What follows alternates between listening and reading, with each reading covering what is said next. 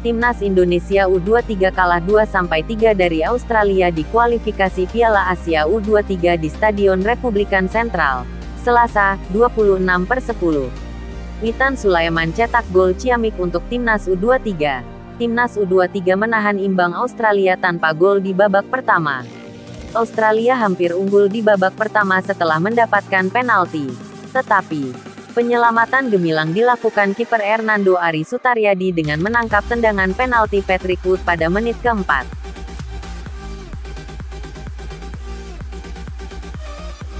Pertahanan solid Indonesia di babak pertama akhirnya jebol setelah Kapten Markovic membobol gawang Hernando Ari Sutaryadi pada menit ke-52. Gol tambahan Australia tercipta pada menit ke-50.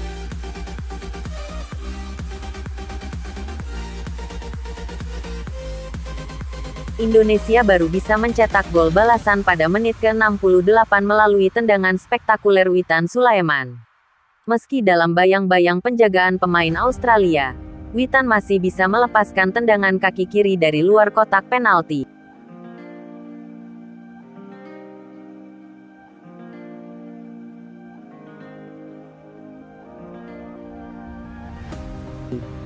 Sepakan itu mengarahkan bola ke pojok kanan atas gawang Australia tanpa bisa diantisipasi kiper Nicholas Suman.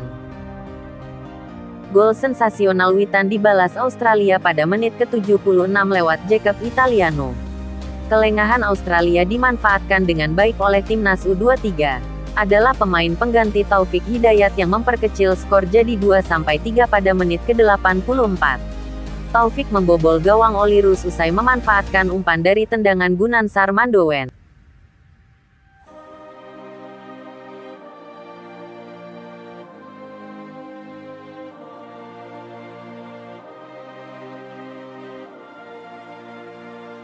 Tanpa tambahan gol pada sisa laga, timnas U23 kalah tipis 2-3 dari Australia. Meski kalah, Indonesia masih memiliki peluang pada pertandingan kedua melawan Australia. Jumat, 29 per 10.